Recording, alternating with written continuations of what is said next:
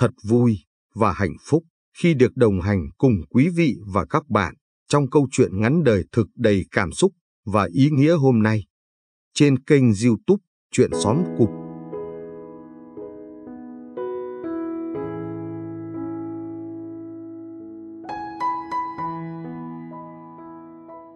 Đang thả hồn lắng nghe tiếng nhạc từ radio của xe khách, chợt tôi bị giật mình bởi tiếng chuông điện thoại.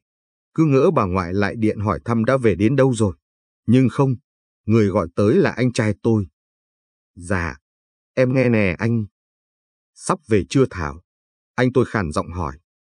Tôi vén tấm rèm nhìn ra bên ngoài. Trời đang mưa nên cửa kính bị xối ướt, làm cho tôi chẳng thấy rõ được vị trí cụ thể là mình đang ở đâu. Nhưng nói thật thì dù có nhìn rõ, tôi vẫn chẳng biết bản thân đang ở nơi nào. Tôi mắc chứng mù đường như người ta vẫn thường hay nói đó. Nghe tiếng anh trai tôi cười khẽ qua điện thoại. Tôi dám chắc anh ấy biết cái tật không phân biệt được đường xá của tôi. Em nghĩ chắc sắp tới rồi đó anh. Em đi cũng gần 9 giờ đồng hồ rồi chứ có phải ít đâu. Vậy khi nào họ thông báo gần tới bến xe thì điện thoại cho anh nhé. Anh lái xe ra đón. Dạ dạ. Sau khi kết thúc cuộc gọi, tôi cất điện thoại cẩn thận vào túi rồi lại trực chờ nhìn ra cửa sổ. Màn mưa cứ ngày một nặng thêm. Tôi giàu dĩ thở dài. Giá như năm nay trời không mưa thì tốt rồi. Bởi vì tôi ghét mưa. Mỗi lần trông thấy mây đen xám xịt cả bầu trời là đầu óc tôi tự dưng mơ màng nhớ về chuyện cũ. Chuyện mà vốn dĩ cả đời này tôi không bao giờ muốn nghĩ tới. Chỉ mong nó bị chôn vùi trong ký ức. Đúng 4 giờ chiều, tôi đang bước xuống xe với vẻ mệt mỏi. Thì đã thấy anh tôi đứng đợi ở ngoài. Anh có vẻ gầy đi rất nhiều kể từ lần cuối chúng tôi gặp nhau nhưng vóc dáng giờ đây lại có phần trưởng thành và chững chạc hơn. Cảm xúc nhớ nhà chợt dâng lên trong lòng. Tôi cay mắt chạy tới thì vừa hay. Một giọng nói dẹo muốn chảy nước vang lên từ phía sau. Ôi Thảo, em về đến rồi đấy à? Người phụ nữ đó xả vào lòng anh tôi. Bàn tay vòng lấy eo anh rồi nũng nịu lên tiếng. Chị với anh Tín đợi em nãy giờ lâu muốn xỉu. Tôi bĩu môi từ chối đáp lại. Chẳng hiểu sao mà anh tôi chịu nổi cái thói óng ẹo của chị ta. Nhưng tôi thì không. Ngày nào anh tôi cũng làm việc chăm chỉ. Tiền kiếm được đều vào túi của chị ta hết. Vậy mà chị ta chỉ biết tiêu xài cho mỗi bản thân mình. Nói đến hoàn cảnh, thì nhà chúng tôi ngày xưa vốn không giàu có gì. Thậm chí nói là nghèo rớt mồng tơi có khi cũng đúng. Mãi đến sau này, anh tôi tay trắng làm liều đi lập nghiệp thì mới khá giả hơn cho đến thời điểm hiện tại cũng đã không còn lo về cơm áo gạo tiền. Lắm lúc tôi nghĩ lại thấy thương anh lắm. Nếu không có anh thì tôi đã không được đi học đàng hoàng, rồi có nghề nghiệp ổn định như bây giờ. Nhưng khi ngẫm lại tất cả, người khổ cực nhất trong gia đình tôi vẫn là bà ngoại. Năm đó, bà bỏ mặc sĩ diện cùng lời ra tiếng vào của người đời, dắt theo tôi và anh ra chợ xin ăn. Ánh mắt khinh thường mà họ nhìn tôi khi đó, có lẽ cả đời này tôi cũng không thể quên nổi. Chiếc ô tô cũ chạy dọc theo con đường làng sỏi đá. Thỉnh thoảng có ổ gà lại sóc nảy một lần. Tôi quen rồi nên chẳng để tâm là mấy. Nhưng ai đó ngồi trên ghế phó lái lại than thở ỉ ôi. Nghe mà phát chán. Á, đường làng tệ quá đi thôi. Đi như thế này có ngày hư xe mất anh à. Quen rồi cũng đâu đến nỗi. Ngày xưa còn khó đi hơn đó. Anh tôi cười cười đáp lại. Hay mình chuyển nhà lên thành phố đi anh. Ở quê lâu quá cũng chán, muốn mua gì cũng bất tiện nữa. Tôi không nhịn nổi nữa liền liếc chị ta, nhưng vì mãi nói chuyện với anh trai nên chị ta không phát hiện ra sự khó chịu ấy. Anh tôi cả đời ở quê còn không thấy chán, thậm chí giờ có tiền, có điều kiện cũng không nghĩ đến việc chuyển đi. Vậy mà vợ anh một câu, hai câu đều mang theo ý chê bai, oán trách. Lòng tôi vốn đã không định tính toán, lát sau lại nghe chị ta buồn bực nói bà ngoại già rồi. Mình cứ thuê bảo mẫu chăm bà ở quê, còn tụi mình thì lên thành phố sống. Mình còn trẻ thì đâu thể nào cứ sống ở nơi khỉ ho cỏ gáy này được. Lời vừa nói ra, anh tôi cũng khựng người lại không đáp, mà tôi thì không chịu được liền to tiếng. Chị dâu, chị ăn nói như thế mà nghe được à? Chị muốn sống sung sướng một mình rồi bỏ mặc bà ngoại ở quê. Nghĩ gì thế? Chị đâu có ý đó. Chị cũng hỏi rồi mà bà không chịu nên mới bảo như thế. Chị ta khó chịu cãi lại. Lúc này, máu nóng trên người tôi như sôi sục. Tôi nghĩ, Cả đời bà ngoại tôi vất vả như thế nuôi hai anh em. Anh tôi lấy chị ta về không bắt phải ra ngoài kiếm việc làm, mà chỉ cần ở nhà lo cho bà. Vậy mà chị ta không làm được. Một tháng sau khi cưới, chị ta khóc lóc nói sống với bà ngoại rất khổ tâm. Bà không chịu hiểu cho chị còn đòi hỏi này nọ, khiến chị không có thời gian nghỉ ngơi. Hôm đó làm ầm ý mọi chuyện lên. Bà ngoại vì tức mà bị cao huyết áp suýt nhập viện. Tôi vẫn còn nhớ rõ. Cái cách chị ta biến mình thành nạn nhân ấy đáng khinh biết bao. Quả thực, Thảo Mai số 2 thì không ai dám giành vị trí số 1. Khi tôi vừa chuẩn bị sẵn tinh thần cãi tay đôi đến cùng, thì anh trai tôi đã kịp thời ngăn lại. Giọng anh cũng không còn mang theo ý vui như trước. Đủ rồi Hà. Em lần sau đừng nói như vậy nữa. Bà nghe được lại buồn. Anh lúc nào cũng ưu tiên bà ngoại rồi em gái. Có thèm để ý lời em nói đâu. Chị ta ngay lập tức bĩu môi lớn tiếng. Cuối cùng không ai thèm đôi co thêm. Tôi cũng không muốn tiếp chuyện cho nhọc lòng. Đôi khi, tôi không hiểu vì sao anh trai lại kết hôn cùng với người con gái xấu tính như vậy. Họ thường nói, ngoài mối quan hệ như nước với lửa giữa mẹ chồng con dâu, thì em chồng và chị dâu cũng chẳng khá hơn là mấy. Nhưng thực ra ngày đầu gặp nhau, tôi rất có thiện cảm với chị Hà. Anh tôi không tính là đẹp trai xuất sắc, thậm chí vì lúc nhỏ chịu khổ nhiều nên da anh thô ráp, đen sạm. Thế mà từ đâu anh lại được một người con gái đẹp yêu thương. Tôi vui thay cho anh lắm, vì có lẽ tình yêu ấy đến từ trái tim chân thành. Rồi thời gian cứ thế nhẹ nhàng trôi, kim trong bọc cũng không còn giấu nổi. Chị Hà thay đổi chẳng khác gì thời tiết. Chị ta xấu tính, cũng hay kêu ca phiền muộn, dù anh tôi chưa một ngày nào bạc đãi chị. Đỉnh điểm là ngày anh tôi đi vắng. Chị ta cố tình đổ nước sôi lên tay bà ngoại. Bị tôi bắt gặp liền chối đay đẩy. Nhưng vì không có bằng chứng, và bà ngoại cũng không muốn anh tôi đi làm còn phải nhọc lòng lo chuyện gia đình, nên mọi chuyện chỉ dừng lại ở đó. Chút kính trọng tôi dành cho chị Hà cũng theo đó tan biến. Tôi ngày càng ghét chị ta. Xe cứ chạy mãi mới đến con hẻm đầu nhà. Anh tôi vừa đánh tay lái thì thấy chú Năm đang đi bộ bên đường. Anh bèn dừng lại. Chú Năm ơi, tiện đường lên đây cháu chở chú về nào. Chị Hà ngồi bên cạnh liền đánh mạnh lên vai anh tôi. Chị nói nhỏ nhưng ở trong xe nên tôi nghe rõ lời chị. Anh làm gì thế? Chú Năm làm ngoài đồng về con bùn đất lầy lội. Anh cho chú lên xe thì lại tốn tiền đi rửa. Không sao đâu, chút tiền này hơn gì tình nghĩa làng xóm với nhau. Thất bại trong việc lay chuyển anh tôi, chị ta hậm hực quay mặt đi chỗ khác. Cuối cùng chú Năm vẫn lên xe ngồi. Chú hơi ngại nên còn cố tình cởi áo ngoài ra lót xuống ghế. Dọc đường, thỉnh thoảng chú lại gợi chuyện rồi hỏi thăm gia đình tôi. Nhưng cứ mỗi khi nhắc đến chị Hà, chị chỉ ậm ừ vài câu cho có khiến anh tôi thêm khó xử. Nhà bà ngoại không lớn, là nhà kiểu cũ nên có phần cổ kính, Bên cạnh nhà bà là nhà của anh trai và chị dâu mới xây năm ngoái, mà nguyên nhân tách riêng là vì chị Hà cứ khó chịu này nọ làm anh tôi phát chán. Sau khi tiễn chú Năm, xe từ từ đi vào cổng nhà. Từ cửa kính, tôi thấy bóng dáng bà ngoại đứng chờ mòn mỏi. Trông thôi mà mắt tôi liền mở đi. Đã lâu rồi tôi không được gặp bà. Bước xuống xe, tôi chạy tới ôm chầm lấy bà ngoại. Hương tràm thoang thoảng bay lên mũi, Tôi biết đó là loại dầu quen thuộc mà bà vẫn thường dùng. Lòng tôi như được trở về với quê hương, trở về với vòng tay ấm áp nên thả lỏng nỗi tâm tình. Tôi sụt sịt nghe bà ngoại khẽ lên tiếng, tay bà còn vuốt ve mái tóc tôi. Cháu ngoan vất vả rồi, thấy cháu khỏe mạnh là bà vui lắm. Anh tôi bước đến gần vỗ vai tôi, khóe mắt anh cũng đỏ ửng lên từ lúc nào. Tôi đáp lại lời bà với giọng khàn khàn, bà ngoại vẫn chịu giữ lời hứa với cháu đó chứ. Bà có ăn uống đầy đủ không đó? Tất nhiên rồi. Bà mỉm cười trả lời. Bàn tay vỗ về sống lưng tôi. Đáng lẽ tôi có thể về sớm hơn. Nhưng vì đây là năm đầu tôi ra trường nên không dám lơ là công việc. Mỗi khi gọi điện thoại mà nghe được giọng bà, tôi lại không kìm được những giọt nước mắt.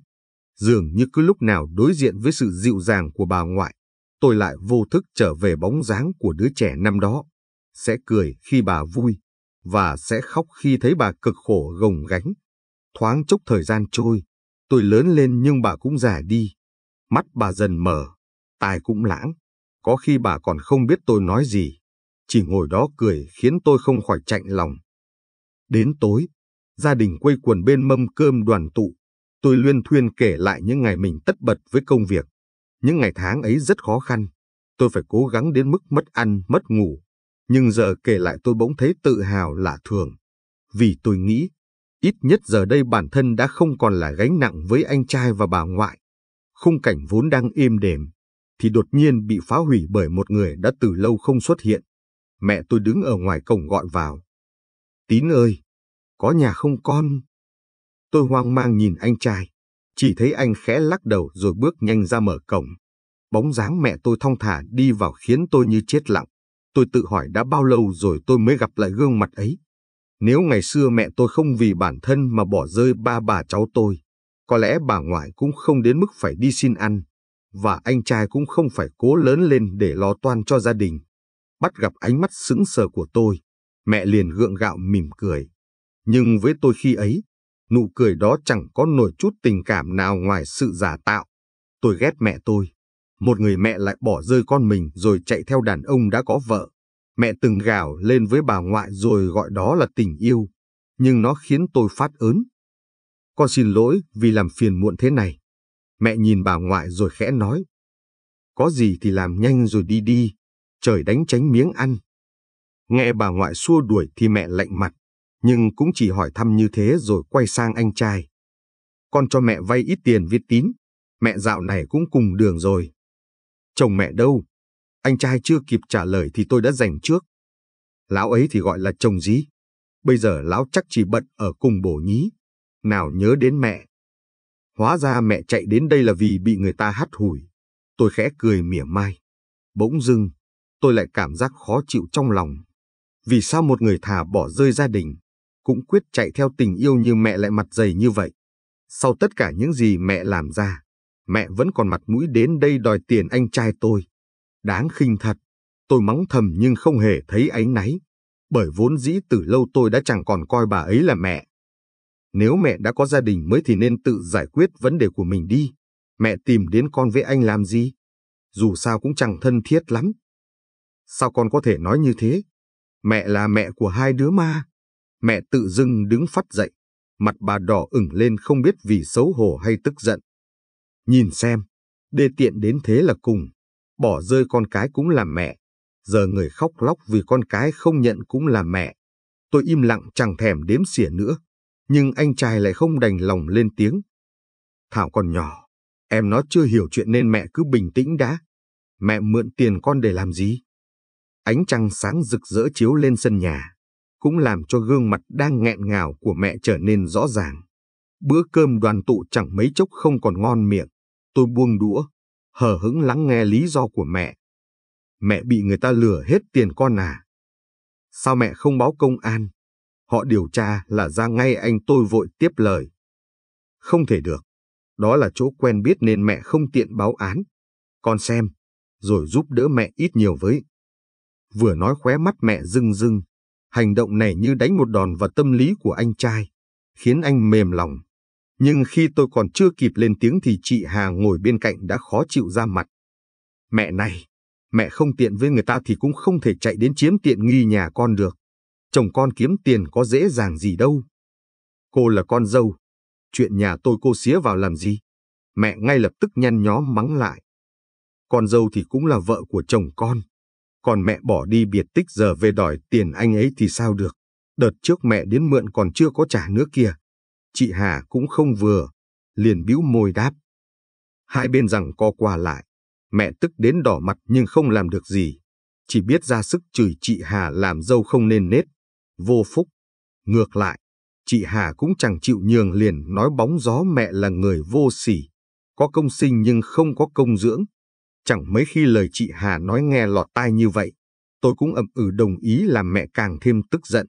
Cuối cùng, anh tôi chỉ đành kéo hai người đang đôi co đến gay gắt ra hai phía.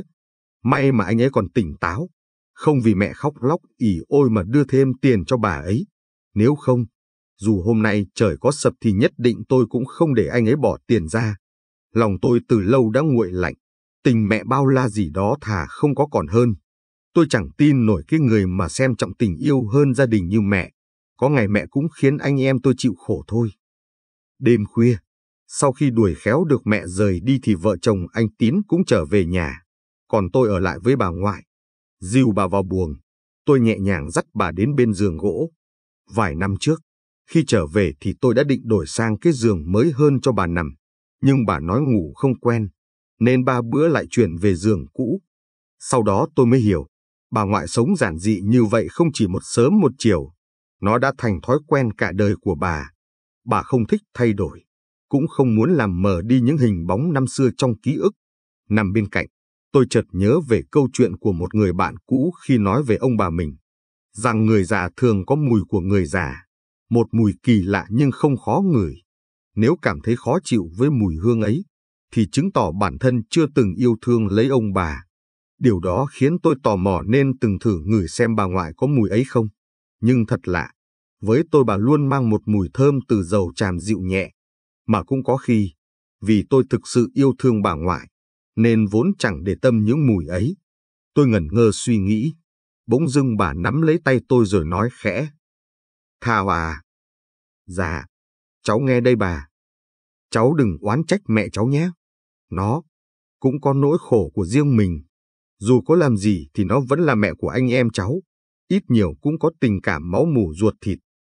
Sau câu nói đó của bà thì bầu không khí bỗng dưng yên lặng, vì tôi cũng chẳng biết nên nói sao cho đúng. Tư tưởng của tôi khác với bà. Tôi biết rõ những năm qua, dù bà hận mẹ nhưng vẫn luôn mong ngóng mẹ quay về. Có thể anh trai cũng vậy, đều hy vọng một gia đình êm ấm cùng nhau. Còn tôi lại đi ngược với mọi người.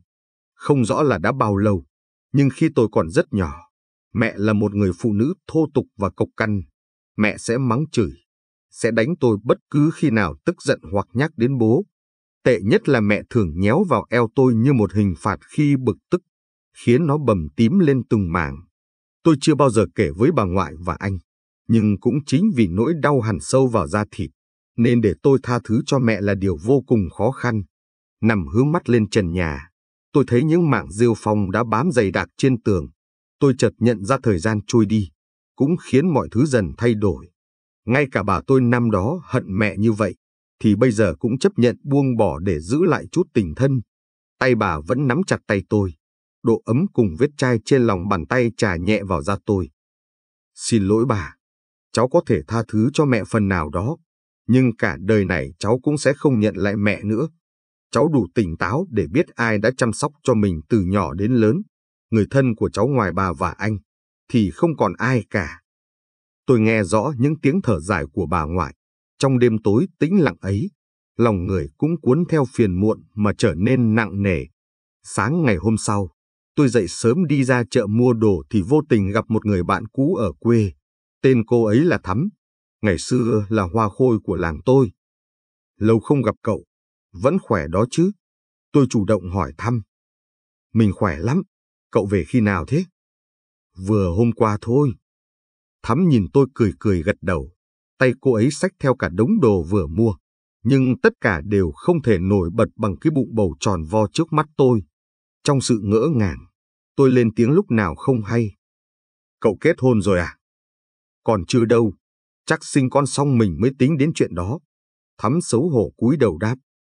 Vì cùng đường về nhà, tôi tiễn Thắm một đoạn, cũng phụ cô ấy mang vài túi đồ cho bớt nặng. Mặt trời dần lên tới đỉnh, Chúng tôi chậm chạp đi bộ rồi nói chuyện với nhau. Tôi được biết Thắm đã mang bầu gần 6 tháng. Vậy nên thời gian này chỉ đi thôi cô ấy cũng thấy mệt. Tôi làm việc trong bệnh viện, nên tôi biết phụ nữ mang bầu cần để ý đến cái gì. Đặc biệt với những người gần sinh như Thắm. Nhìn cô ấy vất vả như vậy, thậm chí bắp chân đã sưng to mà vẫn phải đi chợ. Tôi không nhịn được nên khẽ hỏi. Chồng cậu đâu? Sao không giúp cậu? Anh ấy phải đi làm mà, đâu rảnh lo cho mình chứ? thắm cười, nhưng gương mặt lộ rõ vẻ mất mát, buồn tủi. Lúc tiễn cô ấy về đến nơi, tôi vẫn cố nán lại để dặn dò một số chuyện cần chú ý, rồi mới tiếp tục men theo con đường đi về nhà mình. Chẳng hiểu sao tôi lại nghĩ, cuộc sống của Thắm không được tốt so với những gì cô ấy có được. Ở làng tôi, Thắm từng được mệnh danh là người con gái mang vẻ đẹp sắc nước hương trời. Cô ấy học hành cũng rất giỏi. Ngày đó, Cả hai đứa chúng tôi là những người duy nhất đậu đại học. Chỉ là bố mẹ thắm tiếc tiền nên buộc cô ấy từ bỏ ước mơ nơi thành thị xa hoa. Tôi đã nghĩ, Dù không được đi học thì Thắm nhất định cũng sẽ tìm được một công việc tốt, vì cô ấy là người luôn có nỗ lực và ý chí mạnh mẽ. Thấm thoát ngần ấy năm trôi qua, hóa ra hiện thực lại khác xa đến như vậy. Thắm không chỉ sắp làm mẹ, mà giờ đây cô ấy cũng chẳng còn đẹp như xưa nữa. Có lẽ, những cay đắng và vất vả của cuộc đời đã mài mòn nàng thiếu nữ năm ấy mất rồi. Bước qua cây cầu gần nhà, tôi đang lẩm bẩm ca một bài hát thì chợt bắt gặp một bóng dáng không lẫn đi đâu được. Người nọ núp sau bụi tre với dáng vẻ lén lút, đề phòng, nên tôi không nhịn được liền bước tới. Chị Hà, chị làm gì mà thập thò ở chỗ này đấy? Dường như bị giật mình, chị ta làm rơi món đồ trên tay xuống đất, là một cái hộp giấy không rõ bên trong có gì. Nhìn thấy tôi, chị ta gượng cười nhưng không giấu nổi sự hoảng hốt, rồi vội vàng nhặt đổ lên ôm chặt vào lồng ngực. Ôi Thảo, em làm chị hết cả hồn. Chị làm gì mà giấu giếm thế hả? Hay chị ở sau lưng anh trai làm gì sai rồi? Tôi nhướng mày, giả bộ quan sát chị Hà cặn kẽ như muốn bới lông tìm vết. Em đừng nói bậy. Chị, chị chỉ đang nhận đồ người ta giao tới thôi. Có gì mà sai với đúng chứ? Đáng ra tôi cũng chẳng quan tâm chị ta đang làm gì. Nhưng nhìn cái vẻ có tật giật mình của chị thì tôi bắt đầu có chút nghi ngờ. Tôi cố tình dướn người liếc xem cái hộp kia, thì lại bị tay chị che mất. Nếu không làm gì sai thì chị giấu làm cái gì? Em cũng chẳng cướp của chị. Ánh mắt chị Hà đảo qua đảo lại nhìn tôi, cuối cùng lại giả bộ cười nói. Cái này thực sự chỉ là quần áo thôi, không có gì đâu mà. Còn em vừa đi đâu về thế? Em đi chợ thôi. Tôi thừa biết chị ta đang chuyển chủ đề nên hờ hững đáp. Trời càng lúc càng nắng như lửa đốt. Tôi không muốn tìm hiểu thêm nữa nên định sẽ về trước. Tôi cũng rủ chị Hà về cùng cho vui. Nhưng chị lại từ chối vì bảo còn có việc. Nghe thôi đã cảm thấy có vấn đề rồi. Người như chị Hà thì có thể bận gì được chứ? Suốt ngày không quần là áo lụa, thì cũng đang nghĩ cách tiêu xài tiền của anh tôi. Vậy nên, giác quan phụ nữ cho tôi biết, chị ta đang cố tình che giấu chuyện xấu gì đó. Nhưng nghĩ thì nghĩ vậy, chứ thực lòng tôi cũng chẳng dám kết luận một cách nhanh chóng. Chỉ là tôi không mấy quan tâm chị ta có thể mang đến sóng gió gì. Vì dù sao tôi cũng chẳng để yên. Nếu chị dám động đến gia đình tôi, trước khi một mình trở về, tôi cố tình lớn tiếng nói. Trời nắng thì chị cũng mau về đi nhé ờ em về đi.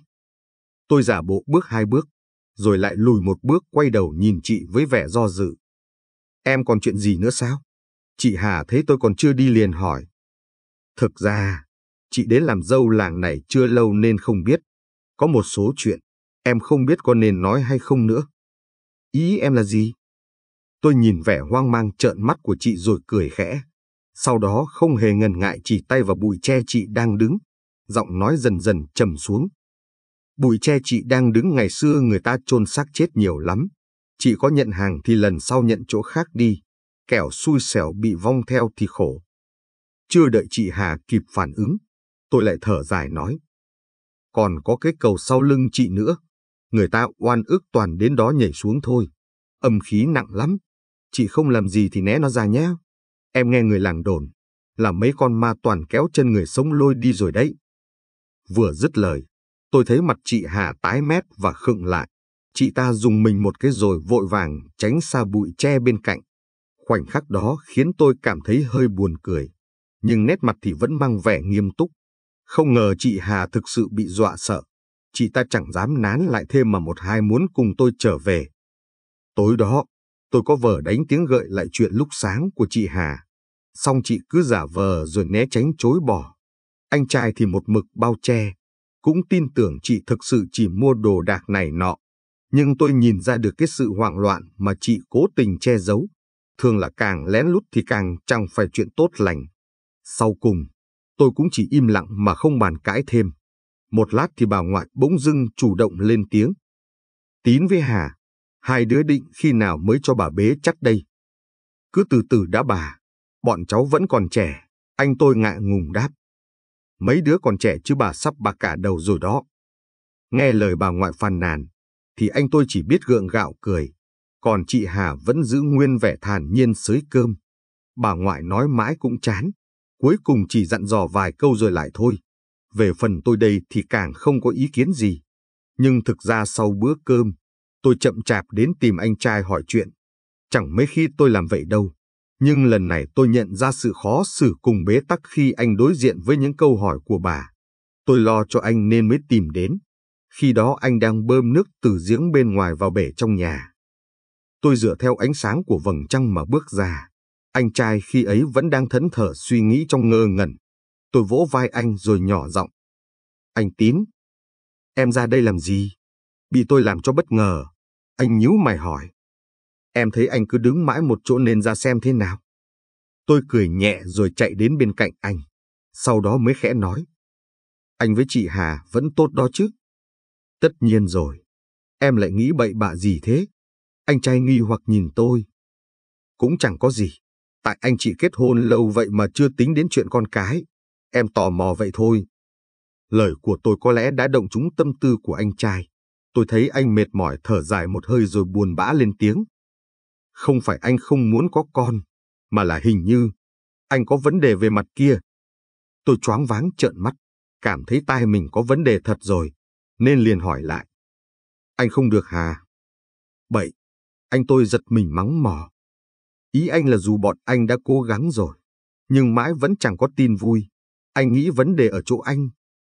Tại sao lại do anh chứ không phải từ chỗ chị Hà? Tôi lên tiếng thắc mắc. Cũng có thể đây là vấn đề nhạy cảm. Vậy nên lúc tôi hỏi thì anh liền ngại ngùng gãi tai. Nhưng mà chắc anh quên thật rồi. Vì tôi đây xuất thân từ ngành điều dưỡng ra đó. Hiện tại cũng đã làm việc được một khoảng thời gian. Vô số bệnh nhân tôi gặp không ít người cũng mắc bệnh kín. Tôi chẳng ngại cái đó. Huống hồ gì là chuyện của chính anh ruột mình. Có gì anh cứ nói. Em cũng đâu phải người ngoài. Giờ em còn làm việc trong bệnh viện trung ương nữa. Anh khẽ nhìn tôi, thở dài rồi mới nói nhỏ. Em cũng biết đó, ngày xưa anh làm trong nhà máy hít phải không ít khí độc, giờ có khả năng ảnh hưởng đến cơ thể rồi. Mấy người bạn cũ của anh cũng mắc tình trạng như thế. Chị Hà có biết không? Anh chưa dám nói với Hà, anh sợ cô ấy thất vọng. Lại một khoảng im lặng không ai lên tiếng. Lần này thì tôi chẳng biết nên trả lời sao cho anh ấy không đau lòng nữa. Thành thật mà nói, chuyện vợ chồng không thể có con cũng không hề ít ở thời đại này. Nhưng xảy ra trên chính gia đình của mình khiến tôi hơi bối rối. Như vẫn còn hy vọng, tôi thảo luận với anh. Trước hết mình cứ bình tĩnh đã anh. Cái này phải khám mới biết được nên anh đừng vội nói với chị Hà. Chẳng may đúng thật, thì vẫn còn nhiều cách khác mà. Bây giờ y học tiên tiến lắm. Ờ, cứ vậy đi. Anh đáp lại với gương mặt buồn rười rượi. Chẳng hiểu sao lòng tôi cũng đau nhói theo nỗi buồn của anh. Có lẽ tôi thấy bất công cho số phận. Cả cuộc đời anh cố gắng vì gia đình, vì tương lai. Vậy mà những thứ anh nhận lại đôi khi thật cay đắng. Tôi đứng khuyên anh một lúc lâu, rồi sau đó mới thong thả trở về phòng ngủ. Ngày Tết đến, họ hàng ở gần rủ nhau đến nhà tôi chơi, bầu không khí hân hoan như mở hội. Tôi bận rộn từ sáng đến chiều, lo lắng sửa soạn đồ đạc và nấu mâm cơm để cúng bái tổ tiên. Loay hoay mãi tôi cũng không nhớ mình để điện thoại ở đâu. Lúc anh trai tôi đang trò chuyện với mấy cô chú ở ngoài sân. Một nhóm bọn thanh niên là con của các cô. Các chú chạy đến hỏi tôi. Chị Thảo, nhà mình tối này có đốt pháo hoa không chị? Có chứ. Anh Tín mua rồi đó. Tôi cười đáp. Cả bọn hú hét ầm ý rồi ùa ra chỗ anh trai đang ngồi. Vô tình tôi nghe thấy chuông điện thoại mình vang lên nên vội đi tìm. Và khi ngang qua phòng bếp, tôi phát hiện một giọng nói lý nhí khẽ vang lên. Chị Hà ngồi trên ghế trò chuyện với ai đó qua điện thoại rất vui vẻ. Nhưng vì giọng chị nhỏ, cộng thêm khoảng cách lúc đó giữa tôi và chị khá xa. Vậy nên nội dung cuộc gọi ấy là gì thì tôi cũng không rõ. Nghĩ một hồi chẳng đến đâu. Tôi cho rằng chị chỉ đang chúc Tết họ hàng. Người thân và biểu hiện đó hoàn toàn bình thường. Chắc chỉ tại tôi đang nghi quá nên mới lo lắng này nọ.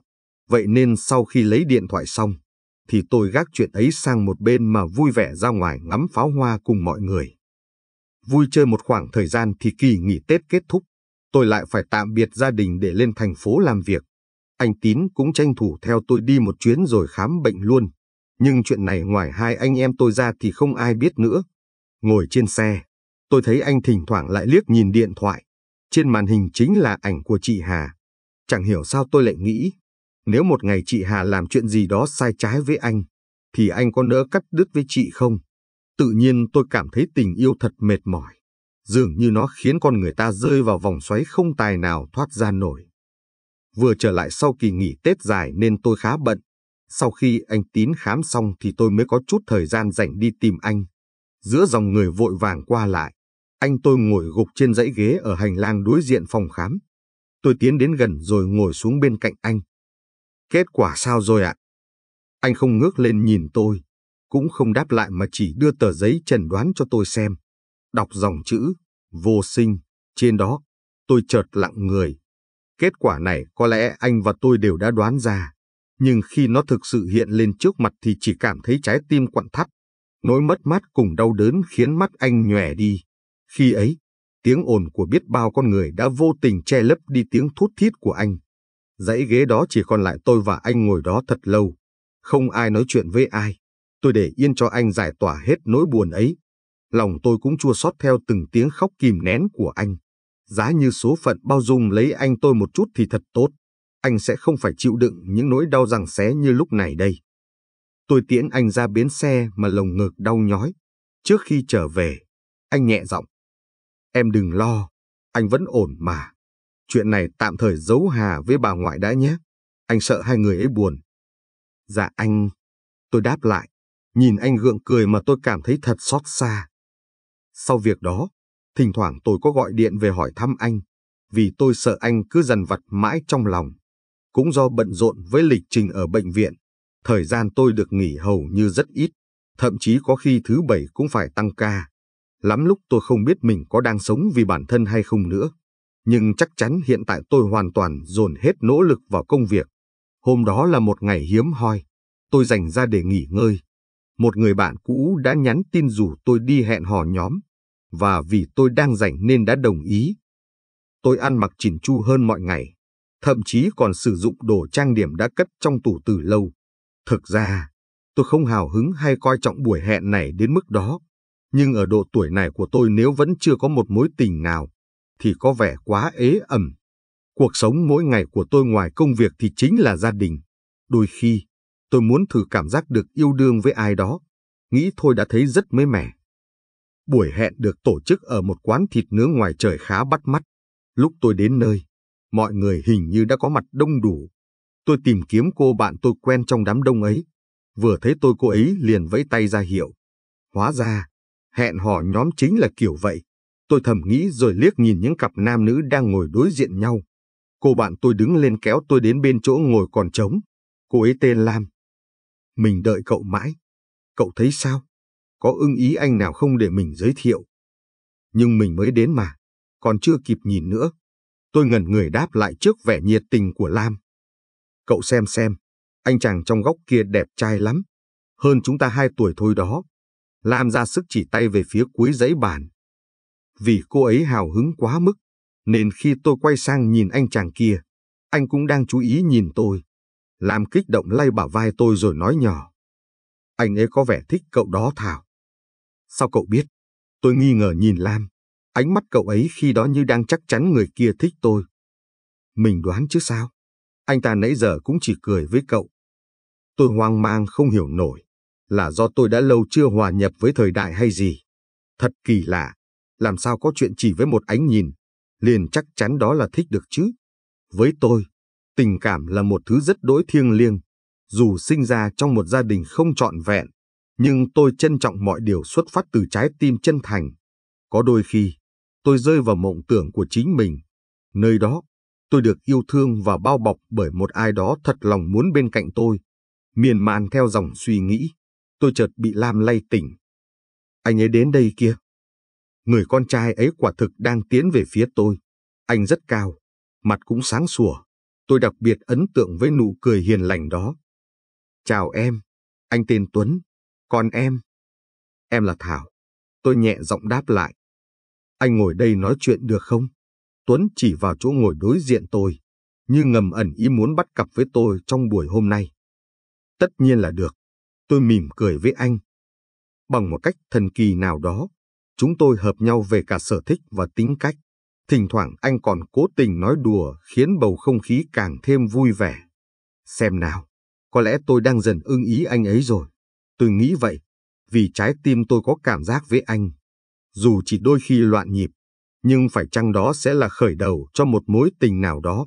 Lần đầu tiên tôi thực sự thấy vui khi gặp gỡ một người vừa quen biết, thậm chí đến khi sắp ra về. Anh còn rất tiếc nuối vì không thể kể xong câu chuyện giang dở của mình cho tôi.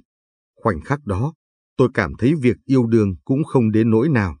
Tôi thừa nhận, mình là người con gái rất dễ rung động chỉ vì những hành động nhỏ của đối phương. Nhưng tôi luôn tự nhủ bản thân phải tỉnh táo, dù đó là ở trong bất kỳ mối quan hệ nào, để không lặp lại cái quá khứ như chính bố mẹ mình. Đó là một tình yêu chóng vánh, rồi mang theo cả một cuộc hôn nhân đổ vỡ. Sau cuộc hẹn, chúng tôi trao đổi phương thức liên lạc cho nhau. Tuấn là người rất tinh tế. Anh biết tôi bận nên luôn chủ động sắp xếp lịch trình gặp mặt cho cả hai. Nếu ở bệnh viện có việc đột xuất, anh cũng không phàn nàn mà liền thông cảm, để tôi không bị khó xử.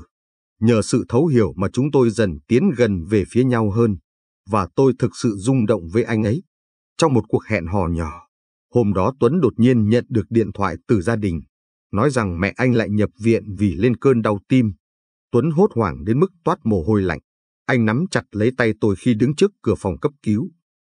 Xin lỗi em nhé Thảo, có lẽ cuộc hẹn của chúng ta không thể tiếp tục nữa. Hay là em đi về trước đi? Em không sao, em sẽ ở lại với anh. Tôi khẽ lắc đầu rồi tựa người lên vai anh. Khi nghe tin mẹ anh bị bệnh, thực ra tôi cũng lo lắng nên không quản ngại mà chạy theo anh tới đây. Giờ nhìn Tuấn đang ở trạng thái căng thẳng như vậy, tôi không đành lòng bỏ anh ở lại mà rời đi trước. Làm việc trong bệnh viện nhiều năm vậy rồi, tôi hiểu cảm giác khi người nhà đột nhiên gặp chuyện là thế nào. Tôi chỉ muốn bên cạnh để an ủi anh. Chúng tôi đứng đó chờ đợi. Đến khi bác sĩ bước ra báo tình hình đã ổn, thì Tuấn mới dám thở phào một hơi. Anh ra ngoài mua ít cháo, còn tôi ở lại chăm sóc mẹ của anh. Lúc sau, bà ấy tỉnh lại liền không khỏi ngạc nhiên vì thấy tôi. Nhưng sau khi biết tôi là bạn gái của Tuấn thì lại nhẹ nhàng trò chuyện. Mà tôi cũng không chú ý thời gian. Đến khi tôi định ra ngoài thì lại thấy Tuấn đang đứng ở cửa từ lúc nào. Anh dịu dàng nhìn tôi cười. Cảm ơn em nhé Thảo. Dạ, không có gì đâu. Sau chuyện của mẹ Tuấn, thì tình cảm của cả hai càng ngày càng tốt. Ngoài những lúc bận thì thời gian dành của tôi đều dành cho Tuấn. Bạn bè nói tôi đang yêu, kể cả bản thân tôi cũng cảm thấy vậy. Nhưng vào ngày tôi định bày tỏ, thì bà ngoại bất ngờ xảy ra chuyện. Vừa nhận được cuộc gọi từ anh trai, tôi đã hối hả không kịp thở mà chạy đến bệnh viện.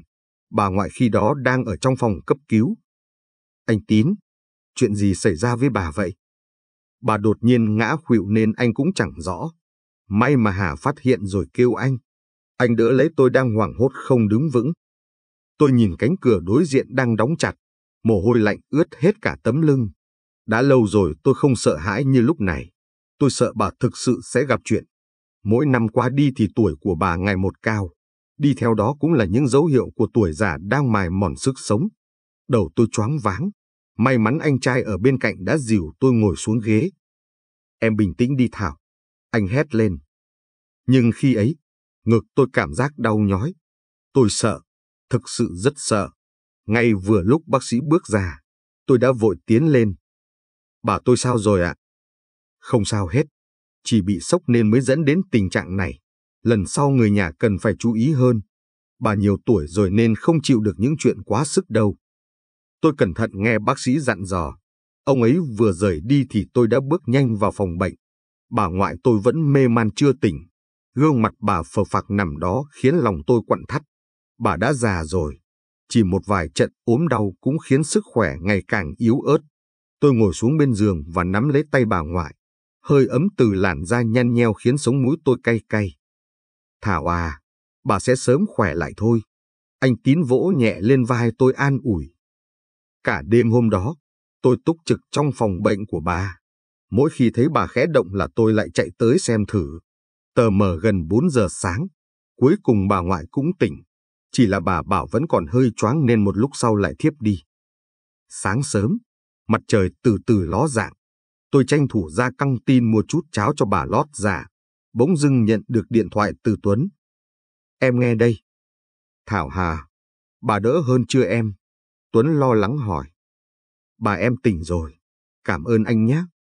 Tôi vừa cầm hộp cháo nóng, vừa thong thả áp điện thoại vào sát tai để nói chuyện. Giọng Tuấn ngập ngừng vang lên với vẻ sốt sắng. Hay anh đến bệnh viện với em nhé. Không sao mà, em biết anh đang bận đi công tác ở xa thành phố. Bà em bây giờ đã tỉnh lại rồi nên anh đừng lo. Tôi khẽ cười đáp lại, trong lòng như có dòng nước ấm chảy qua khiến tôi nhẹ nhõm. Vậy em vẫn ổn chứ?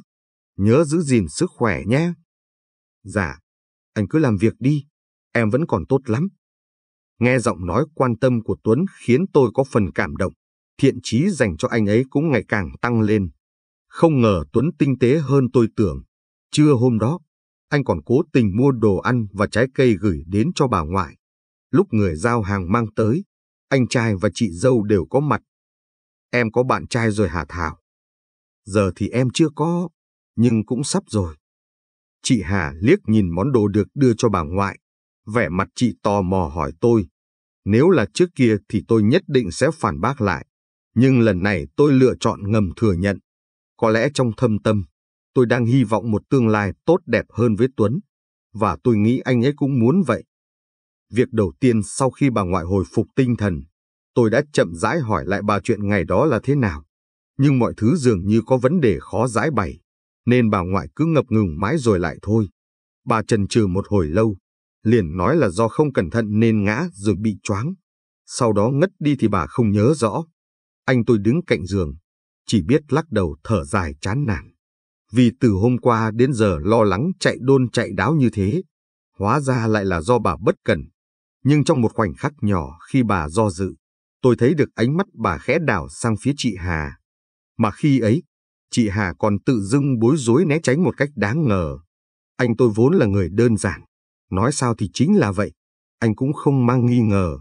Còn tôi đây thì khác, tôi tinh ý hơn anh trai mình. Vậy nên, tôi dám chắc chuyện bà ngất xỉu vì sốc có liên quan đến chị Hà. Nhưng lý do vì sao bà lựa chọn che giấu cho chị ta thì tôi không biết. Nhân lúc anh trai đi thanh toán viện phí, tôi kéo chị Hà ra một góc trong bệnh viện, tranh thủ khi ít người qua lại. Tôi nghiêm túc hỏi. Chị Hà, chuyện bà ngất có liên quan đến chị không? Em nói gì thế? Chị Hà hoảng loạn hét lên, rồi giãy giụa khỏi tay tôi. Miệng chị vội vàng chối bỏ, nhưng phản ứng lo sợ cùng sự lúng túng trên gương mặt lại bán đứng chị. Dù tôi có tra hỏi đến đâu, chị đều ngay lập tức phủ nhận suy nghĩ của tôi là sai, nói tôi vu khống chị. Thậm chí, khi chị run rẩy né tránh ánh mắt của tôi, chị vẫn còn dọa sẽ mách cho anh trai. Nếu tôi tiếp tục làm thế với chị, chớ chiêu thay, kể cả những lúc chị Hà bị dồn ép, người chị nghĩ đến đều là anh tôi. Nhưng tôi tự hỏi, chị có bao giờ trân trọng anh và gia đình của anh hay không đây? Từ ngày bà xuất viện, tôi cũng không còn chăm chăm với công việc như trước. Tôi sẽ dành cuối tuần để về nhà, vì tôi lo gia đình tôi đang vô tình nuôi ong tay áo. Hầu như mỗi khi nhìn thấy tôi, chị Hà đều rụt người né tránh. Điều đó rõ ràng đến mức anh trai cũng nhận ra. Anh hỏi tôi nhưng tôi vẫn giữ im lặng. Ngay cả bà ngoại lúc đầu còn bao dung và che chở cho chị Hà, thì sau lần ngất xỉu ấy thái độ của bà liền khác hẳn. Tôi để ý được, mỗi lần nhìn chị bà đều không vui, thỉnh thoảng còn lơ đi lời nói của chị. Bà tôi xưa này là người rất thẳng thắn, yêu ai yêu cả đường đi, mà ghét ai thì ghét cả tông chi họ hàng. Một hôm trở về, tôi ra chợ mua đồ thì bắt gặp vợ bác Năm đang dắt bò ra đồng. Tôi bị bác ấy giữ lại nói chuyện. Kìa Thảo, bà ngoại khỏe hẳn chưa? Dạ, bà đỡ rồi bác ạ. Tôi cười cười đáp lại. Vợ bác Năm ngó ngàng xung quanh, rồi đột nhiên tiến lại gần thì thầm to nhỏ vào tai tôi. Con Hà, vợ anh con vẫn ở nhà đó chứ? Dạ vâng, có việc gì hả bác? Bác thấy nó không bình thường con ạ. Vừa nói bác vừa cau mày nhìn tôi. Ý bác là sao ạ? Ánh mắt bác ấy lộ ra vẻ khó xử, nhưng dưới sự thúc giục của tôi, bác thở dài rồi lên tiếng. Bác đây là tận mắt chứng kiến, hôm bà con ngất đi ấy, bác thấy con Hà nó lôi lôi, kéo kéo với người nào lạ lắm. Bác nói rõ hơn đi ạ. Tôi không giấu nổi vẻ tò mò, liền vội tiếp lời. Bác chỉ vô tình bắt gặp nên không biết đó là ai, nhưng mà nhìn cái dáng người cao to thì bác đoán là đàn ông. Còn nữa nha, con Hà nó cứ ôm cái người đó mãi, Nói gì thì bác không nghe, nhưng mặt nó mếu máu hết cả lên. Tôi lặng lẽ nghe bác kể, trong đầu mơ hồ nhớ về một khung cảnh đã cũ. Ngày trước, tôi từng thấy chị Hà lén lút ở bụi tre gần nhà làm gì đó. Tôi không nghĩ nhiều, nhưng giờ bỗng dưng cảm thấy mọi thứ không đơn giản như vậy. Vợ bác nằm kéo ống tay áo tôi, vẽ mặt càng căng thẳng nói. Bác không có ý gì, chỉ là con mà tin bác thì để ý chị dâu đi. Tao thấy nó cứ thần bí như thế ắt có điểm. Dạ bác, tôi nặng nề trả lời. Suốt buổi đó, tôi cố gắng sâu chuỗi dòng suy nghĩ mông lung của mình, từ việc chị Hà thường xuyên lén ra ngoài, rồi cả lần bà ngoại chứng kiến gì đó có liên quan đến chị mà ngất đi. Thậm chí, giờ còn thêm cả câu chuyện vợ bác Năm kể lại. Dù không dám chắc, nhưng tôi bắt đầu nghi ngờ chị ta có vấn đề. Mà vấn đề này có lẽ sẽ liên quan đến cuộc hôn nhân của anh tôi và chị. Ngồi trong sân nhà, tôi mệt mỏi xoa chán. Vì mỡ hỗn độn này mà tôi đã bị đau đầu suốt mấy ngày nay. Nhưng đến cùng tôi cũng chưa thể kết luận. Bởi một khi để lộ ra thì gia đình này có khả năng sẽ đổ vỡ. Ít nhất thì mối quan hệ giữa anh trai tôi với chị Hà sẽ dần dạn nứt. Vậy nên lòng tôi tuy hoảng loạn nhưng vẫn còn giữ lại chút hy vọng nhỏ bé. Tôi mong suy nghĩ của mình là sai. Đến bữa cơm tối, lâu rồi anh tôi mới đi câu cá nên anh rất hào hứng khoe chiến tích. Anh đẩy tôi và chị Hà ra khỏi bếp, rồi tự mình xử lý cũng như nấu nướng. Tôi ra ngoài dọn bát đũa, thỉnh thoảng có giả bộ liếc nhìn chị Hà thì thấy chị mặt mày bồn chồn, thấp thỏm. Chị mệt à? Mặt chị trông nhợt nhạt lắm đấy. Tôi nhẹ giọng hỏi thăm. Không có, chị vẫn vậy mà. Chị Hà xua tay gượng cười, nhưng lại toát mồ hôi lạnh trên trán. Đợi khi tất cả đều ngồi vào bàn, và anh tôi vui vẻ bưng nồi canh cá ra, thì chị Hà đã dùng mình bỏ chạy. Anh tôi là người hoảng hốt đầu tiên. Anh đặt mạnh nồi canh xuống rồi đi theo sau chị, vẻ mặt vô cùng lo lắng. Tôi cũng từ từ đặt đũa xuống bàn, lại dìu bà ngoại đứng lên rồi cùng nhau ra xem thử tình hình. Ở ngoài giếng, mặt chị Hà tái mét viện tay vào bệ đá. Chị liên tục nôn khan dù chẳng có gì ngoài nước trào ra. Cảm giác như chút hết được khó chịu trong người. Chị mới tập tễnh đứng lên. Nhưng may lúc sắp ngã thì có anh tôi đỡ lại. Bà ngoại nhìn chị rồi trầm tư. Bà run run lên tiếng. Cháu có thai rồi hả? Chỉ một câu nói như vậy thôi, đã đủ giết chết bầu không khí hiện tại trong căn nhà này. Tôi liếc nhìn anh trai, trông anh như mất hồn mà ngẩn người, còn chị Hà lại trợn mắt không dám tin. Suy nghĩ của tôi không kìm nổi nữa mà bật lên trong đầu. Hóa ra chị Hà thực sự ngoại tình. Tiếng gió thổi sao sạc bên tai khiến tôi tỉnh táo thêm phần nào. Tôi quay lưng dìu bà vào nhà. Bà ngoại cũng thở dài rồi bước đi. Lúc trở ra, tôi thấy anh tôi mắt đỏ hoe đứng thẫn thờ ở đó. Còn chị Hà lại ôm eo anh thủ thỉ. Mình có con rồi anh à. Em vui quá. Tôi không biết khoảnh khắc đó anh tôi sẽ thấy thế nào. Nhưng tôi biết anh đang rất đau. Kể cả tôi cũng nhói lòng khi chứng kiến sự thật phũ phàng ấy. Chị Hà thật trơ chẽn. Hay chính chị cũng không biết đó không phải là con của anh trai. Tôi lặng người. Rồi lại thấy anh tôi ôm chặt chị vào lòng. Nước mắt chảy dài trên gò má. Nhưng anh lại cười nói. Ừ, chúng ta đã có con rồi. Đêm khuya, bà ngoại và chị Hà đều đã ngủ. Tôi men theo ánh trăng sáng mà bước ra ngoài sân. Anh tôi lại như mọi lần mà ngồi đó, ngẩn ngơ nhìn lên bầu trời. Khi nghe thấy tiếng động thì lại giật mình quay sang. Tôi thấy một điếu thuốc đã cháy hơn nửa trong tay anh. Lòng tôi chua xót bước lên. Vừa định mở miệng, lại như có thứ gì đó chặn ngang cổ họng. Đau thật đấy. Tôi thầm cảm nhận. Đã lâu rồi tôi không thấy anh khóc. Kể cả khi mẹ bỏ rơi ba bà cháu tôi rồi rời đi với người tình. Hay thậm chí lúc anh bị đồng nghiệp bóc lột đến mức chảy ra. Tôi ngồi xổm xuống bên bậc thềm, lặng lẽ lắng nghe âm thanh của cỏ cây bị cơn gió thổi nghiêng ngả. Chợt anh tôi lên tiếng. Chuyện cứ để như vậy đi, em đừng nói gì nữa cả. Tôi hoảng sợ nhìn anh, không nhìn được đáp. Nhưng đó đâu phải con của anh. Thảo, anh gằn giọng quát tôi. Anh mệt rồi, cứ như vậy đi, đừng nói thêm gì nữa. Tiếng thở bất lực vang lên, mặt anh gục xuống trong màn đêm tối tăm. Trong mùi khói thuốc vương vấn nơi chóp mũi, tôi lặng lặng ngồi đó cùng anh. Tâm trạng cũng rối rít không biết nên làm sao mới đúng. Nhìn một lúc thấy anh không vứt đi tàn thuốc, mà còn cố tình nắm chặt nó trong lòng bàn tay đến mức bỏng rát cả một mảng da. Tôi liền thổn thức. Anh làm vậy có đáng không? Em không hiểu đâu. Cô ấy ắt hẳn có nỗi khổ riêng. Anh trầm giọng rồi nhìn tôi đáp. Ngày xưa, khi anh lên tỉnh xin việc, trong túi chẳng còn nổi một đồng để bắt xe. Lúc tuyệt vọng nhất, nếu không phải Hà dành dụn tiền rồi lén đưa cho anh, thì anh cũng không thể nào có được ngày hôm nay. Em nói cô ấy thế nào cũng được, nhưng anh tin Hà chỉ là nhất thời lầm đường. Vậy nên em đừng khiến mọi chuyện trở nên khó khăn nữa. Coi như anh xin em. Trong ánh mắt anh trai tôi khi ấy chỉ còn lại sự đau đớn. Những sợi tơ máu chẳng chịt nơi hốc mắt khiến anh trở nên hung dữ hơn. Tôi đau lòng nghẹn ngào. Anh mới chính là người không chịu hiểu. Chị Hà đã từng tốt với anh thì cũng chỉ là ở quá khứ. Hiện tại đây mới là điều quan trọng mà anh nên biết. Chị ta phản bội anh thật rồi. Tôi gào lên trong cơn tức giận, rồi không chịu được sự ngu muội của anh mình mà quay người trở vào nhà. Trăng lên đến đỉnh đầu, anh vẫn không về ngủ mà chỉ đứng ngây dại ở góc sân cũ. Sau đó những tiếng rầm rầm vang lên. Tôi men theo ánh trăng sáng nhìn ra ngoài. Anh tôi cuộn chặt tay thành nắm rồi ra sức đấm mạnh lên tấm gỗ mục. Tôi thấy máu đã dướm trên tay anh. Nhưng anh như một cái máy, chỉ biết dùng nắm đấm chút lên tấm gỗ để xua tan đi nỗi khổ tâm. Nằm trong buồng, tôi không dám nhìn thêm nữa mà quay mặt đi. Nước mắt tôi chảy dài trên gò má. Hóa ra anh tôi không thoát ra nổi. Tình yêu của anh đối với chị Hà quá lớn, đến mức anh sẵn sàng gạt bỏ lòng tự trọng của mình để bao dung lấy sự sai trái của chị. Phải làm sao vào lúc này đây? Tôi đã không còn cách nào để giúp anh được nữa. Con người anh tôi cố chấp từ lâu. Anh yêu người đã phản bội lại anh. Kể cả lời mà đứa em gái ruột thịt khuyên nhủ, cũng chẳng lay động được cõi lòng anh khi đó. Chị Hà mang thai thì cả làng tôi đều biết.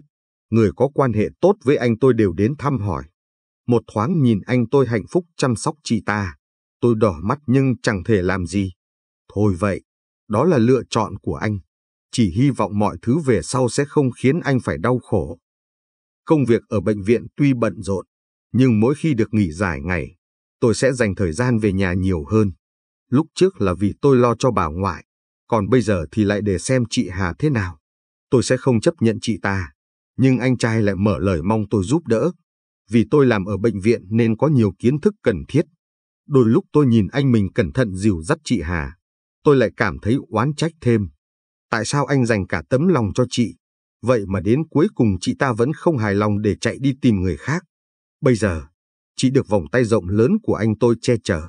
Người ta nhìn vào chỉ biết ghen tị vì chồng chị tốt đẹp biết bao. Những lúc muốn vạch trần tất cả, tôi lại bắt gặp ánh mắt dịu dàng anh tôi trao cho chị. Có lẽ anh đã thực sự không còn quan tâm đúng sai nữa rồi. Tôi bất lực thở dài. Dòng thời gian trôi, mối quan hệ tình cảm của tôi cũng ngày càng tiến triển. Tuấn và tôi ăn ý với nhau về mọi mặt trong cuộc sống, vậy nên cả hai mong muốn tiến đến xa hơn. Anh thường gửi quà về cho bà ngoại tôi, còn tôi biết mẹ anh bị bệnh nên vẫn tranh thủ sang hỏi thăm. Thậm chí, có đôi lúc anh còn đùa tôi là cuối năm sẽ làm đám cưới, vì anh sợ chẳng may tôi gặp ai tốt hơn lại đổi ý.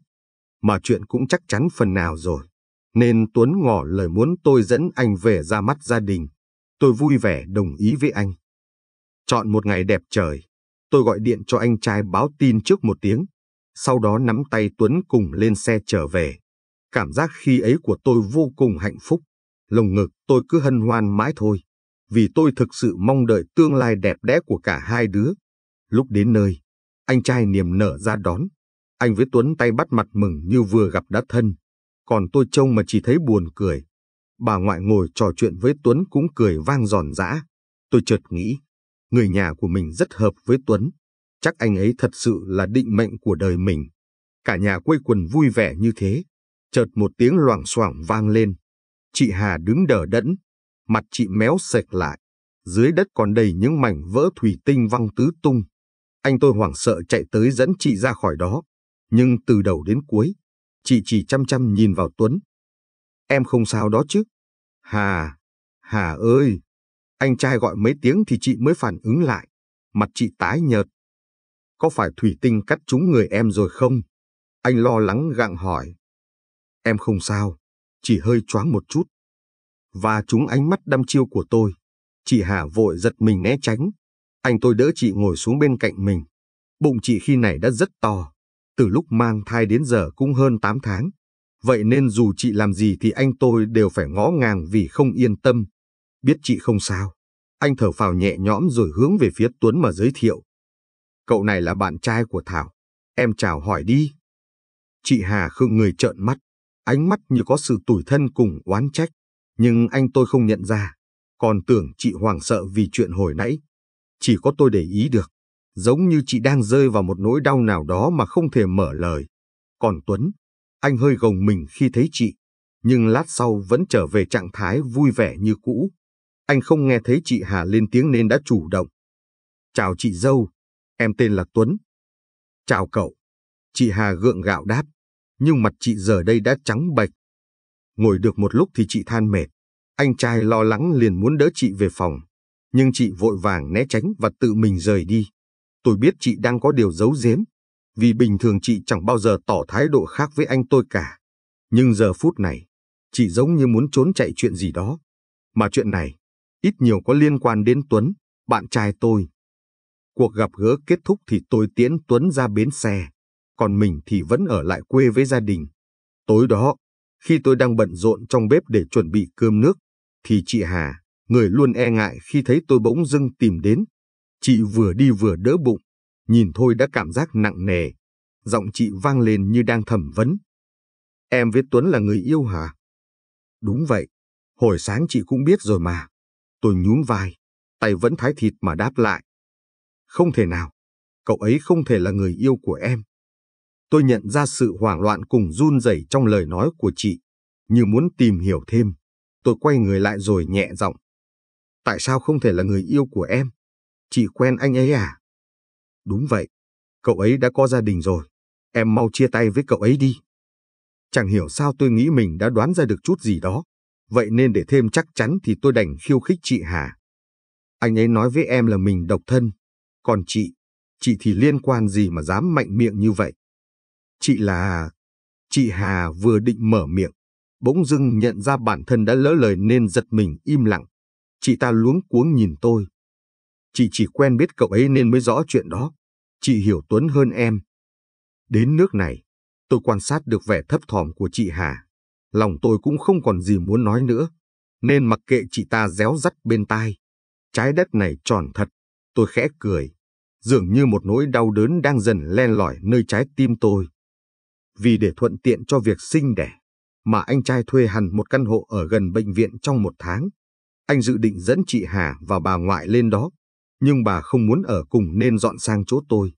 Thực ra, tôi nghĩ bà đã biết được phần nào đó vấn đề của chị Hà, có thể là từ cái lần chị khiến bà kinh ngạc đến mức ngất đi đó, bởi người mong được ôm chắc nhất là bà.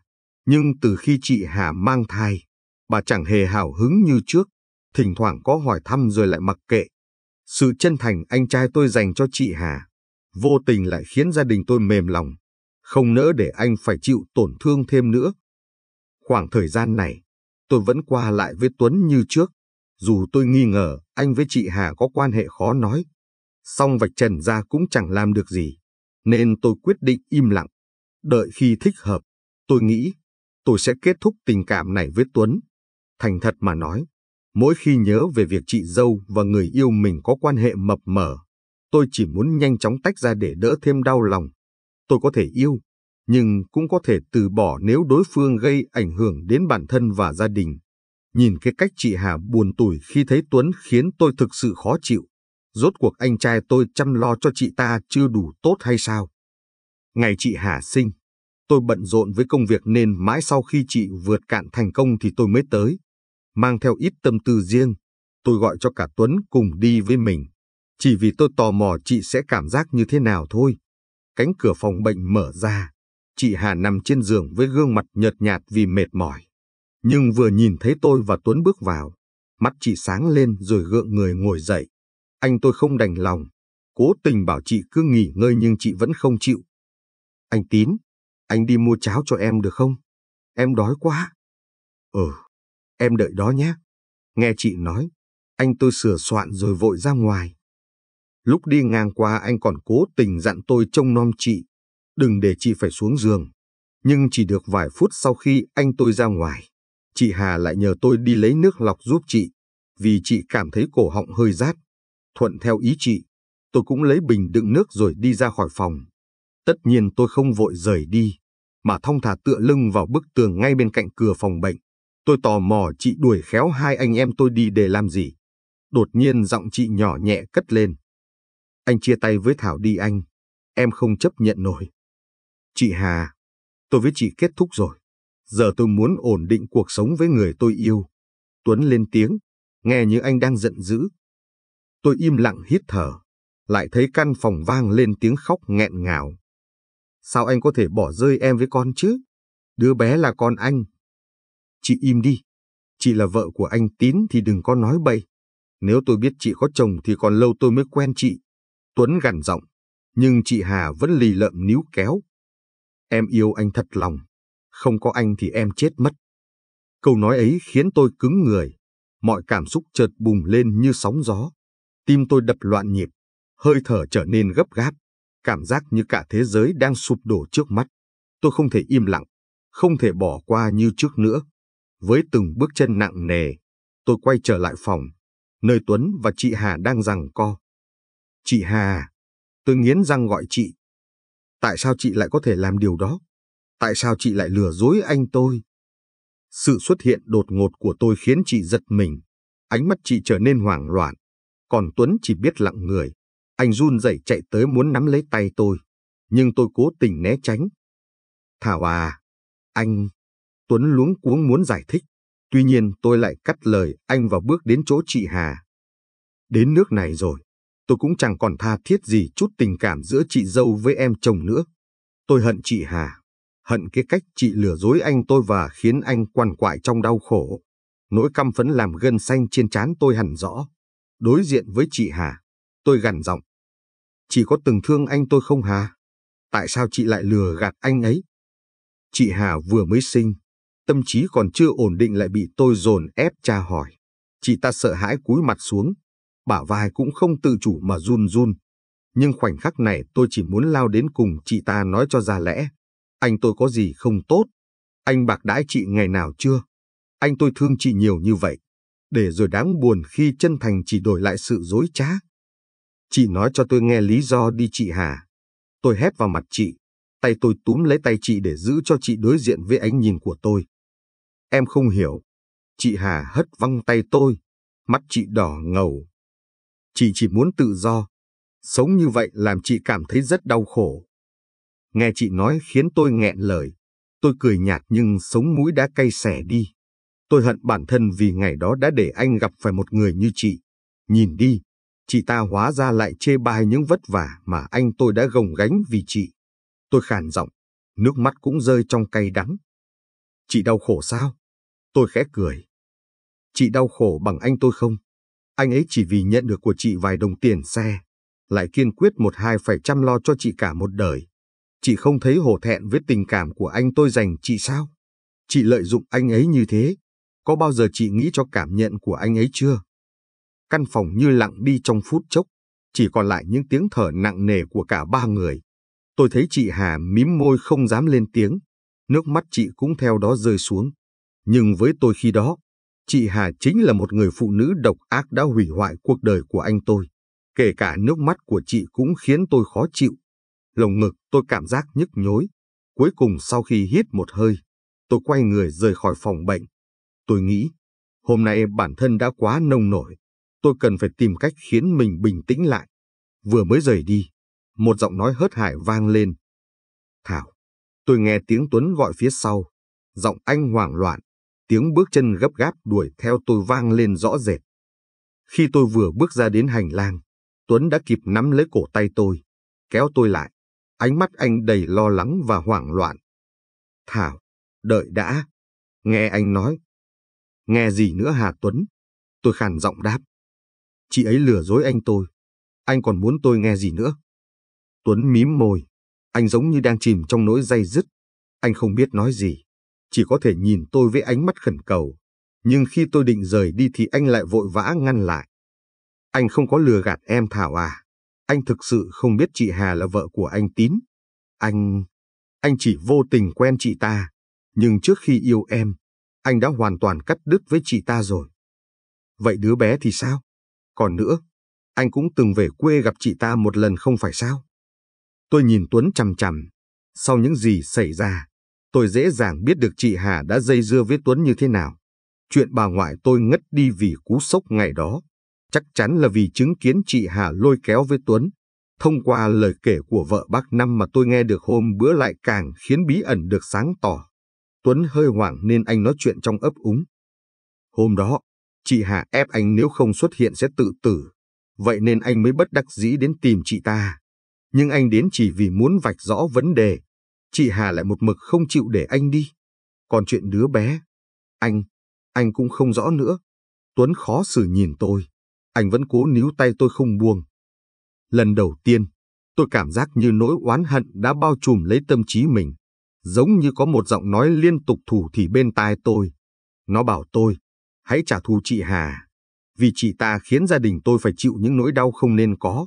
Tôi không biết lúc đó mình có hoàn toàn đủ bình tĩnh hay không. Nhưng giọng nói tôi vang lên đầy kìm nén. Em sẽ không chia tay với anh đâu Tuấn. Chúng ta vẫn sẽ tiếp tục. Nhưng chuyện hôm nay xảy ra tại đây. Nếu chị Hà không nói thì anh cứ xem như chưa có gì đi. Anh làm được không? Có chứ. Chỉ cần em đừng chia tay với anh. Vì anh thực sự yêu em. Tuấn run run đáp lại. Gương mặt anh thoáng sừng sốt nhìn tôi đầy vẻ khó hiểu. Có lẽ Tuấn tưởng tôi đã thật lòng chấp nhận anh. Nhưng không, tôi của lúc ấy trở nên vô cùng xấu xa.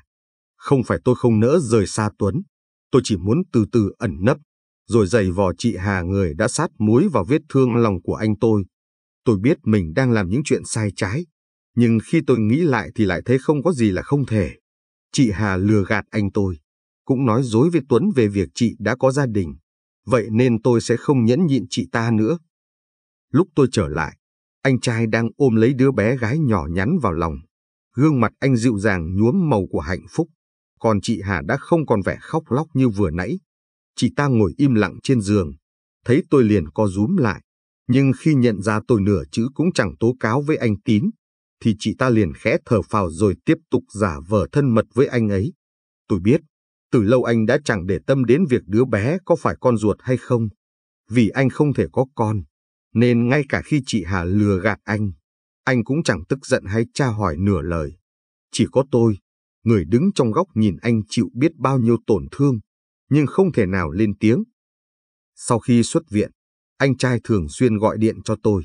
Anh hỏi về việc có nên ăn kiêng gì không trong thời gian ở cữ. Chị Hà được anh tôi lo lắng đến từng cái ăn, cái mặc, thậm chí con khóc cũng một tay anh dỗ dành.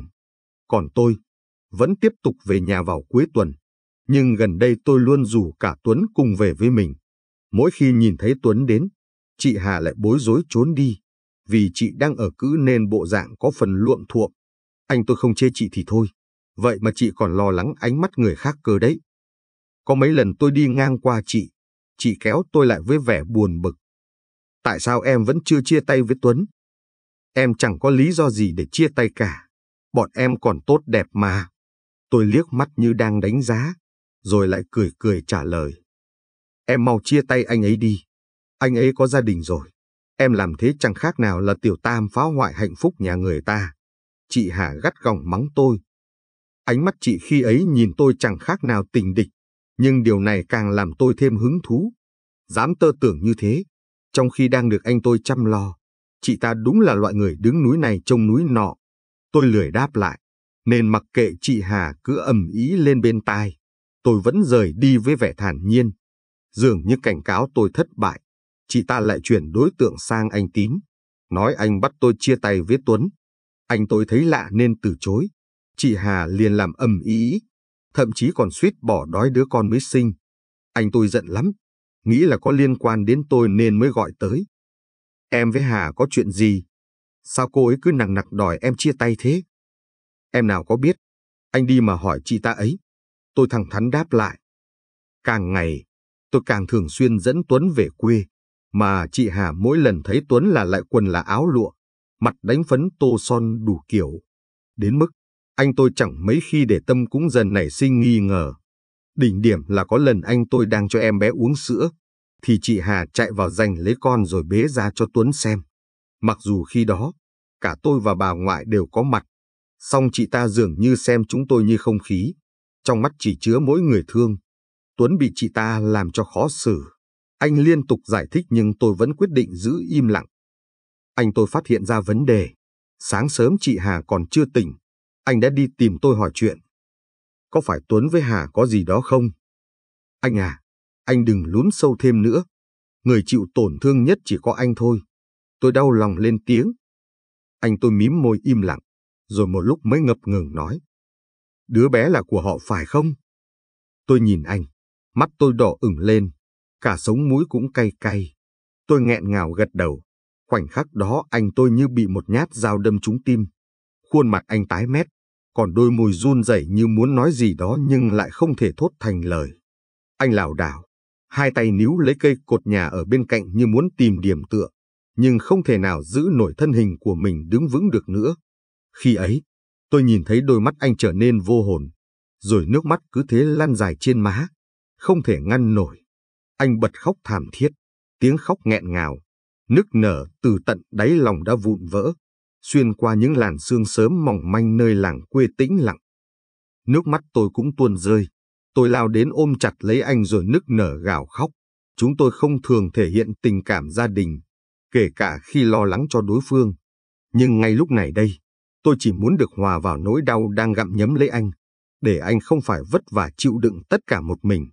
Những nỗi đau dồn nén bấy lâu, giờ đây như dòng lũ tràn về, cuốn đi mọi sự kiên cường mà anh từng gắng gượng. Tiếng khóc của anh không còn là sự chịu đựng mà là nỗi đau khổ tận cùng, một sự tan vỡ không thể nào hàn gắn. Chúng tôi ôm nhau thật chặt, như tìm kiếm chút an ủi giữa cuộc đời đầy nghiệt ngã. Lần đầu tiên, tôi thấy anh yếu đuối đến vậy, và tôi cảm nhận được nỗi đau anh đang gánh chịu. Sau khi giải tỏa được phần nào cay đắng, anh tôi ngồi bệt xuống sàn nhà, ánh mắt anh giáo hoành, không còn ngấn lệ nữa mà chỉ còn lại sự trống rỗng. Nhưng lạ thay, tôi thấy anh như đã lấy lại được chút tỉnh táo, chút bình tĩnh sau cơn bão lòng vừa rồi. Anh hít một hơi thật dài, rồi lại ngước mắt nhìn xa xăm. Có lẽ trong lòng anh lúc này đã rõ ràng hơn tất thảy, cũng đã sẵn sàng chấp nhận được sự thật nghiệt ngã. Tôi ngồi bên cạnh, vẫn không dám rời anh nửa bước, lòng chỉ biết cầu mong anh có thể vượt qua nỗi đau này. Cơn gió nhẹ nhàng thổi qua khóe mắt ướt, anh quay sang nhìn tôi rồi nói nhỏ. Đừng lo, anh biết mình nên làm gì. Khi mọi chuyện đã được sáng tỏ, anh trai tôi chủ động xa cách với chị Hà. Nếu không có việc gì thì anh hầu như sẽ tránh tiếp xúc với chị. Còn về phía tôi, tôi lựa chọn chia tay với Tuấn. Dù Tuấn không có lỗi, nhưng sau những gì xảy ra tôi không thể yêu anh thêm nữa. Có lẽ tôi thực sự ích kỷ. Điều duy nhất với tôi chỉ là bản thân và gia đình. Tôi không trách Tuấn, nhưng không chấp nhận nổi khi biết anh và chị dâu tôi đã làm những gì. Nếu tôi đến với Tuấn, anh tôi sẽ là người đáng thương nhất. Vì không đồng ý chia tay, nên Tuấn tìm đến nhà tôi để níu kéo. Mỗi lần như thế thì anh đều thất bại trở về, nhưng vô tình lại khiến chị Hà chứng kiến trong nỗi ghen tức. Chị Hà có vẻ tinh thần không ổn định. Tôi nhận ra việc này khi chị hung hăng gặp tôi nói chuyện. Nếu không phải tại cô, thì anh ấy đã chấp nhận tôi từ lâu rồi. Đồ tiểu tam. Chị có biết mình đang nói gì không hả chị Hà? Tôi bất ngờ khi nghe chị ta thú nhận mọi thứ. Phải biết rằng, chị Hà vụng trộm sau lưng anh tôi, thậm chí còn mang thai cả con của người khác. Tôi tưởng chị ta chẳng bao giờ dám tiết lộ, vậy mà chỉ vì thấy ghen ghét với tôi, chị liền bộc bạch ra hết tất cả. Ánh mắt chị Hà như một kẻ điên muốn lao tới xé xác tôi. Nếu khi đó tôi nhận ra chị ta có vấn đề sớm hơn, thì có lẽ sẽ không dẫn tới những sự việc về sau. Hôm đó, Tuấn như thường lệ về quê tìm tôi, nhưng không như mọi lần, vì anh còn mang theo cả một bó hoa lớn và một hộp nhẫn. Trước mặt bà ngoại và anh tôi, Tuấn quỳ gối xuống với vẻ nghiêm túc, anh nhỏ giọng như đang cầu xin. Chúng ta đừng chia tay được không? Anh thật sự rất yêu em. Vừa dứt lời, tiếng thủy tinh vỡ vang lên cùng với tiếng hét phẫn nộ của chị Hà. Chị từ trong nhà lao ra, trên tay nắm chặt con dao ngắn, gương mặt chị nhăn nhó gào thét. Tất cả là tại mày, vì mày mà anh ấy mới không yêu tao. Chị Hà như phát điên rồi chạy thẳng đến chỗ tôi, nhưng vì quá hoảng sợ nên tôi chưa kịp phản ứng. Chị túm tóc tôi giật lại, rồi nhanh chóng nhắm thẳng con dao tiến tới. Khoảnh khắc đó anh trai đẩy tôi ra và hứng phải mũi dao vào bụng. Máu chảy ra thấm ướt cả áo anh, nhưng anh lại khổ sở cười. Nước mắt cũng rơi xuống. Là tại anh, từ đầu đã chẳng cho em được hạnh phúc mà em mong ước. Thân thể anh tôi ngã ra đất, tôi khiếp sợ khi bụng anh chảy máu không ngừng. Bà ngoại vì chứng kiến cảnh tượng quá sức mà ngất đi. Tôi chỉ biết run rẩy luống cuống cầm điện thoại gọi cho cấp cứu. Nước mắt khi ấy đã chảy dài trên gò má. Tôi sợ hãi đến mức gào loạn lên. Chỉ mong ai đó đến cứu anh tôi ngay lúc này. Khi đó Tuấn lái xe đến. Anh vội vàng đỡ anh trai tôi lên xe rồi phóng đi. Hàng xóm bên cạnh nghe thấy liền chạy sang. Nhìn máu loang ra khắp sân. Ai cũng hoảng sợ. Còn chị Hà, chị như dại ra đó.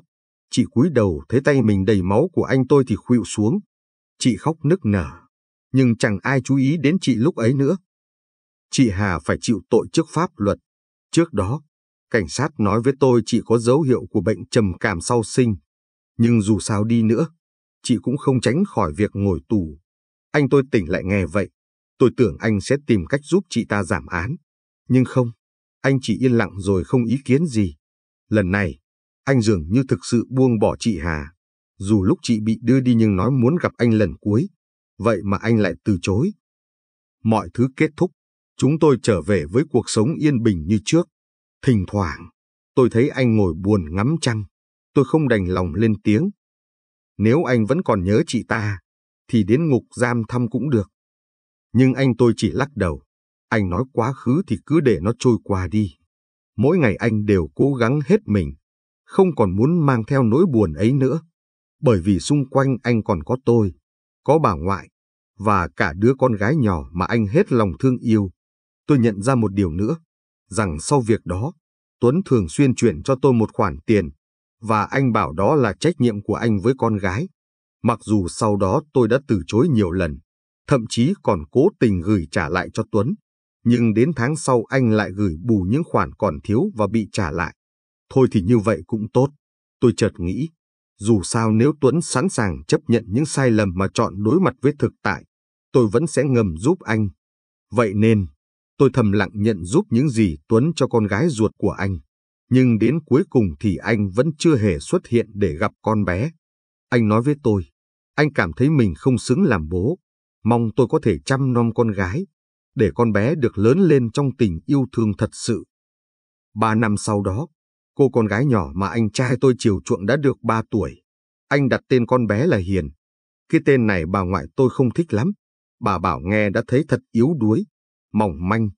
Nhưng anh tôi lại mê mẩn nó, bởi anh muốn con gái anh lớn lên phải dịu dàng, hiền lành. Cũng bởi vì từ khi sinh ra, con bé luôn ngoan ngoãn, không khóc nháo như những đứa trẻ khác. Vậy nên anh tôi cứ ngày càng thương nó, thậm chí còn quát mắng cả tôi nếu không kịp thời cho con bé ăn. Anh trai dần thay đổi, anh không còn bị nỗi đau vây lấy như trước nữa. Tôi thấy mừng cho anh. Còn về chị Hà, tôi cũng từng tự hỏi liệu khoảng thời gian qua chị sống thế nào, nên đã thử đi hỏi thăm. Nhưng kết quả có vẻ thực sự thảm hại. Người quản chế nói chị Hà phát điên rồi, thường hay nói chuyện ngây dại một mình. Ai động vào thì chị cũng nổi điên gào lên. Sau đó chị bị đưa vào trại tâm thần. Hiện tại chị sống trong sự kiểm soát của nhân viên y tế. Mọi thứ bị kìm hãm càng khiến chị nổi loạn đến phát bệnh. Có lẽ, đó là cái giá phải trả khi chị đã khiến rất nhiều người vì chị mà đau khổ. Tôi không hề cảm thấy nó quá đáng. Gieo nhân nào thì sẽ gặt quả đó. Đến cùng chỉ là tự mình hại mình mà thôi. Một hôm nọ, tôi dắt bé Hiền trở về nhà sau chuyến thám hiểm khắp làng xóm. Con bé hí hừng nắm tay tôi, cũng cả hát vô cùng vui vẻ. Đột nhiên con bé ngừng lại giữa đường rồi chỉ về phía xa. Đó là ai thế ạ? Tôi khó hiểu, rồi nhìn theo bàn tay bé nhỏ ấy đến một gốc cây. Người đang đứng ở đó giật mình, ánh mắt bối rối rồi khẽ gật đầu với tôi. Tôi sững lại một lúc, thì bóng dáng ấy đã nhanh chóng đi mất. Ai thế ạ? Bé Hiền gãi đầu hỏi tôi.